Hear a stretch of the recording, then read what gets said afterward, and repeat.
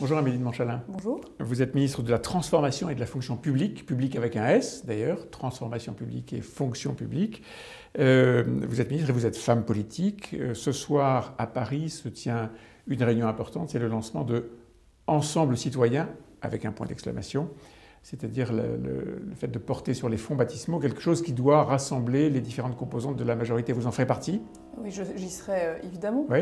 Qu'est-ce qu'on fait depuis 4 ans autour du président? On cherche à agir, on cherche à regarder euh, quels sont les problèmes, les prendre à la racine et être assez, euh, je dis, radicaux dans notre action.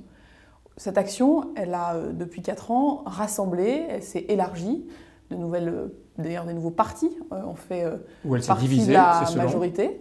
Et aujourd'hui, notre euh, ambition, c'est de pouvoir accueillir tous ceux et celles qui, sans être dans une logique de parti, parce qu'on sait que les partis souvent enferment, souvent divisent, eh bien, ont envie de soutenir à la fois l'action qui a été menée pendant 4 ans et surtout regarder l'avenir. Donc ce n'est pas un parti, c'est quelque chose qui ressemble à un mouvement c'est un drôle de machin, non Vous savez, quand En Marche a été créé, beaucoup de gens ont dit que c'était un drôle de machin. C'était un parti. C'était pas un parti, c'était un mouvement. revendiquait d'être un mouvement, mais c'était un parti en réalité. Et ça qui, a débouché sur un parti. Et qui à l'époque cherchait à dépasser les clivages, les frontières partisanes. Moi, vous voyez, je l'ai rejoint en venant euh, plutôt de la droite, en me disant que euh, la primaire de 2016 avait donné un spectacle de division d'un parti qui se parlait à lui-même plutôt que de parler aux Français. Aujourd'hui, c'est la même logique. Nous avons une action, des hommes et des femmes qui sont parfois des élus, qui sont parfois des citoyens, des chefs d'entreprise, des personnes de tous horizons, veulent soutenir cette action et regarder ensemble l'avenir autour du président.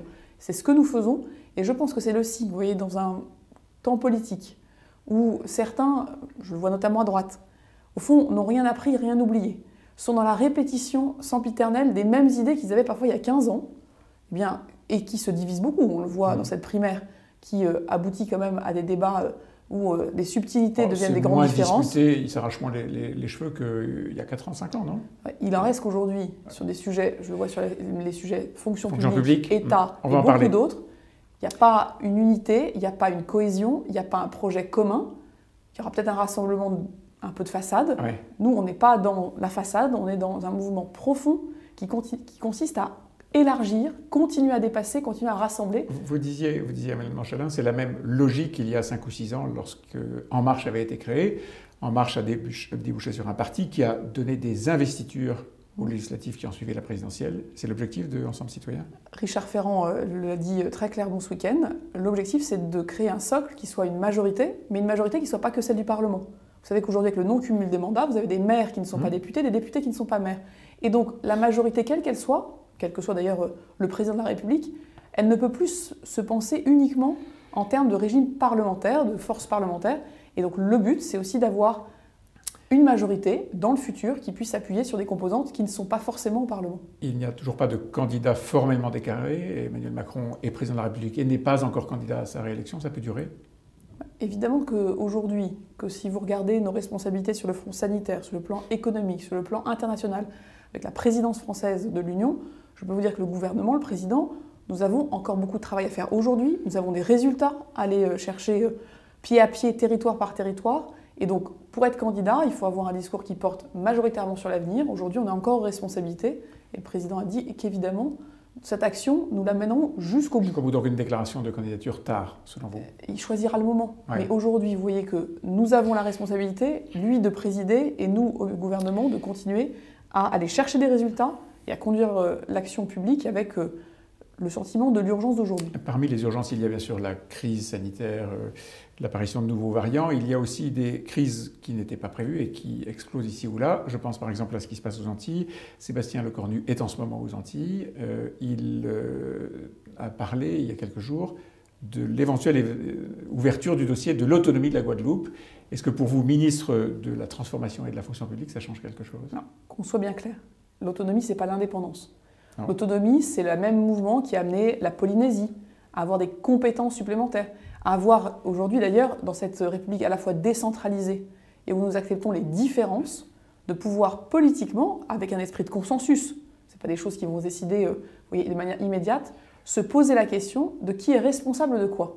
L'autonomie, c'est peut-être le début d'un processus qui, par exemple, comme en Nouvelle-Calédonie, amène à l'indépendance éventuelle. Aujourd'hui, la Guadeloupe est un département, une région pleinement intégrée dans une entière égalité avec les autres régions, les autres départements de notre pays.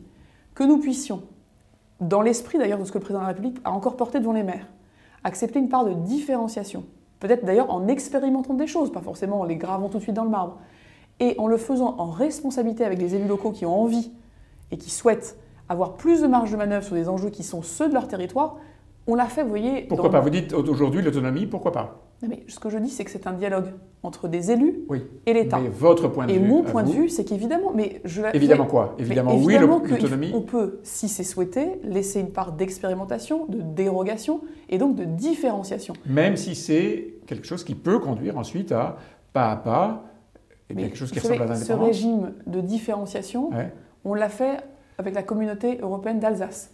On l'a fait avec des choses qui se passent en Corse. On l'a fait avec des choses qui se passent en Creuse ou dans les Ardennes, où nous avons des politiques publiques hmm. qui sont différenciées. Ça ne veut pas dire que vous sortez de la République, ça ne veut pas dire que vous sortez de la nation française, ça ne veut pas dire que l'État est moins à vos côtés. Ça veut dire que les équilibres entre les responsabilités, responsabilité des collectivités locales, responsabilité de l'État, peuvent être aménagés. Et donc, en tant que ministre de la Transformation publique, je crois que c'est essentiel, et on le voit d'ailleurs dans beaucoup de domaines. Si vous avez une politique totalement homogène, si vous mettez les mêmes moyens partout, si vous considérez que les gens réagissent de la même manière alors que leurs réalités sont différentes, je pense que vous êtes à côté de l'efficacité. Et donc c'est ce débat-là, mais vous voyez que ce n'est pas un débat simpliste, c'est sûrement pas un débat d'abandon de la République vis-à-vis de territoires qui ont particulièrement euh, besoin de soutien et d'être accompagnés. Dans, vos prérogatives, il y a euh, donc la gestion de la fonction publique, la transformation et donc en ce moment la disparition de l'ENA et la recréation d'une école des administrateurs d'État. Plusieurs corps euh, s'inquiètent de leur disparition, les préfets, le corps diplomatique, euh, d'autres éventuellement qui sont des corps très spécialisés. Est-ce que ce n'est pas un risque de perte de compétences que vous mettez en place en ce moment? Pourquoi on fait cette réforme? Parce qu'il faut revenir à l'origine, sinon on a un débat qui est complètement. Moi, ce qui m'intéresse, c'est les conséquences. Oui, mais pourquoi, on, a tous compris Est-ce que c'est n'est ben, pas un risque de est-ce que c'est pas un risque de perte de compétences? Est-ce que les diplomates qui sont issus d'une grande lignée de formation à, la diplomatie, qui n'est pas quelque chose d'assez banal, euh, ou les préfets, qui sont euh, les représentants de l'État sur les territoires, n'ont pas droit à notre époque, quelque chose de particulier? Aujourd'hui, 2021, que ce soit sur l'écologie, que ce soit sur le numérique, que ce soit sur notre rapport aux valeurs de la République, à tout ce qu'on vient de, dire dans l'organisation même de l'État, la France a changé. Elle a changé depuis 1945, elle a changé parce que les crises sont nombreuses. Le président de la République a fait un choix radical.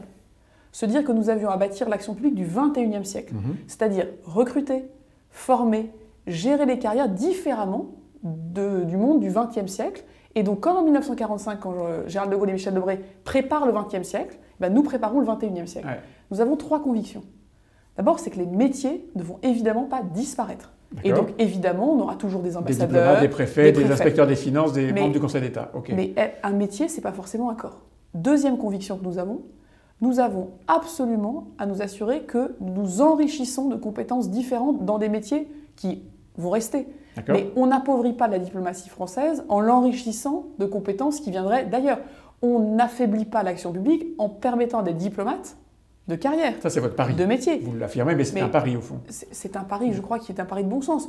Aujourd'hui, des diplomates chevronnés, on a besoin qu'ils aillent aider dans les ministères, à l'agriculture, qui est devenu un ministère international, au ministère de la culture, vous voyez mm. toutes les négociations qu'on a sur le numérique, dans le ministère de l'économie. Le but, c'est que les compétences puissent circuler en dehors des, silos, des tuyaux d'or, des corps, qui enferment les uns et les autres, et aujourd'hui qui créent aussi des frustrations parce que vos, les carrières sont extrêmement... Donc, si je comprends bien... Et, on a besoin au XXIe siècle que des experts du numérique puissent travailler dans la diplomatie et que des diplomates puissent travailler dans le ministère de l'Agriculture. Parfait, comme si ce n'était pas possible aujourd'hui. Mais c'est très très limité. Très difficile, et les systèmes de corps, notamment, ont verrouillé le système.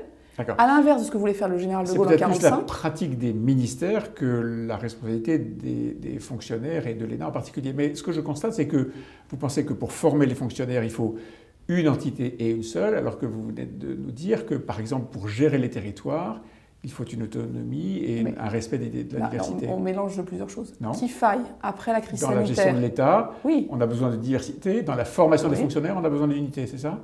Après la crise sanitaire, qu'est-ce qu'on a vu? C'est qu'on manquait d'une culture commune entre, ça va des magistrats judiciaires aux préfets, aux commissaires de police, aux, administrateurs territoriaux. Mmh. On a besoin de cette culture commune. Ce tronc commun, c'est une des grandes innovations que cet Institut national du service public va permettre. On a aussi vu que la formation continue dans notre pays est très très faible, Qu'en en fait, il y a très peu de formation continue. Les gens ne considèrent qu'à partir de 25 ans, on a tout son bagage pour la vie. Cette formation continue, c'est une deuxième mission de l'Institut national du service public. Et puis, on a vu une troisième chose. Évidemment, vous me parlez des diplomates. Moi, je pense que pour notre... Ou des préfets mais je, prenons les diplomates, pour notre influence française dans le monde, hmm. il est utile que ces hommes et ces femmes, qui ont des compétences évidemment de spécialistes, techniques, de négociation régionales, on va garder le concours d'Orient, évidemment, hmm. mais c'est une chance pour eux et c'est une chance pour nous, la France, qu'ils soient formés aussi avec la génération de ceux qui seront préfets, qui travailleront dans les ministères, qui travailleront dans les collectivités locales, pour qu'ils puissent rayonner de la France d'aujourd'hui. Et puis il y a une dernière chose. Vous êtes un, journal, je sais, très engagé sur les enjeux de simplification et de modernisation. Notre pays s'est construit avec le primat de la norme, le primat du juridique, de la légistique, des finances publiques. On va évidemment continuer à avoir ces socles-là. Mais moi, je veux qu'on rajoute dans la formation du numérique, de l'écologie, du rapport à la science, des valeurs de la République, et donc des choses qui font que, que l'on soit diplomate, que l'on soit magistrat judiciaire, que l'on soit futur préfet, que l'on travaille dans une collectivité, on est en partage les bonnes méthodes, les bonnes références pour faire efficace pour les Français. Vous évoquiez il y a un instant la, préoccupation des finances publiques. Euh, vous êtes ministre de la Transformation et de la fonction publique. Au moment où il sera temps de faire le bilan de ce quinquennat, euh, on pourra dire que la fonction publique a plus ou, moins de, membres qu'au début? Elle aura le même nombre d'agents publics. Est-ce que ce n'est pas un échec par rapport à la promesse du candidat Macron Sauf que c'est en rien un échec ni un reniement, puisque en 2017, le président avait dit mon ambition sur la fonction publique et l'action publique, c'est qu'il y ait moins de monde dans les ministères à Paris et qu'il y ait beaucoup plus de monde sur le terrain. total, il avait et en faisant les plus et les moins, on pensait arriver à moins 50 000. Voilà. Nous avons mené le même mouvement, beaucoup moins de monde dans les ministères, beaucoup plus de monde sur le terrain. Il n'y a jamais eu de suppression d'une année sur l'autre du nombre des fonctionnaires. Nous avons, si, au début hmm. du quinquennat, ah, mais nous quelques avons, centaines alors. Non, non, non. et, mais nous avons considéré que la France, après les Gilets jaunes, après la crise sanitaire, vu les besoins aussi sur le régalien, ce même mouvement nous amenait aujourd'hui à avoir beaucoup plus de monde sur le terrain, et quand vous entendez parler de policiers, de greffiers, de soignants, ce sont... des réallocations. Et au fond, moi j'assume cette politique parce que c'est une politique du réel. Ce qu'a voulu faire le président de la République et qu'on verra donc mercredi au Conseil des ministres, c'est que notre action publique soit pas, au fond, pilotée par des dogmes, par le sentiment d'avoir des, des, des, des, monuments historiques sur lesquels on ne peut pas toucher. C'est comment on recrute, comment on a des bonnes compétences, comment on s'assure surtout que les Français ont une, action ah, publique efficace là où ils vivent. Le nombre des fonctionnaires serait donc un dogme? Non. Il est un dogme pour ceux qui, euh, notamment à droite, des gens comme Mme Pécresse, qui vous ressortent le comité de la hache, qui vous ressortent l'idée qu'il faudrait mettre les fonctionnaires sur le bio, qu'on va gagner en efficacité, qu'on va gagner en capacité de servir les Français uniquement avec une approche comptable. L'approche comptable en question, on la connaît. Ça, ça s'appelle le dogme de la RGPP. Ça a été mené entre 2010 et 2012 avec beaucoup de vigueur. Ça, a été continué d'ailleurs par la gauche. Ça a abouti à quoi? L'affaiblissement de l'État proche des Français, l'affaiblissement de l'État régalien, l'affaiblissement de l'État territorial. En tout cas, tout ça sera Nous ne pilotons pas l'action 21e siècle avec de tels dogmes. Tout ça sera un sujet sûrement de la campagne électorale à laquelle vous participerez. Merci Amélie Monchalin. Merci beaucoup.